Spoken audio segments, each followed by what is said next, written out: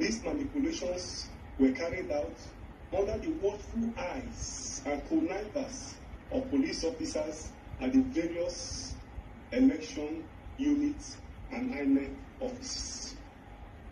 The decision of INEC to go ahead to announce this doctor results based on manufactured voting has defeated the efforts made by Nigerians to see that the Electoral Act was amended to allow for electronic transmission of results. And the Labour Party and our presidential candidate, Sesenesi Peter, only accept results which reflect the actual voting result obtained at the polling units across the country. The, the truth is that it is their mandate that is about to be stolen. And I expect people to defend their mandate. That is my position.